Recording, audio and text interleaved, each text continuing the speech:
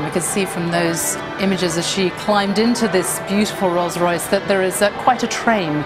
It could take her a few minutes to, to get out of the car. Yeah, I think her father was struggling with that bit, wasn't he?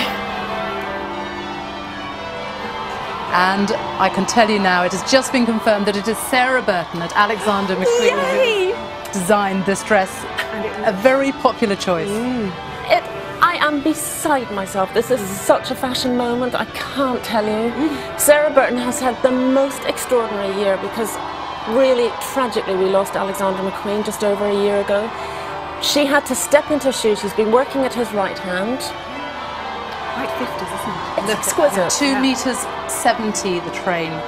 And what a vision. It's exquisite. She And it's made of ivory and white satin gazar. Bizarre. Okay, lovely. that is a fabulous dress. and the veil being held there in place by the Queen's halo tiara, which has been loaned to her specially for this day by the Queen, made by Cartier. A very old tiara made in 1936, French Chantilly lace, combined with English Cluny lace. And sight!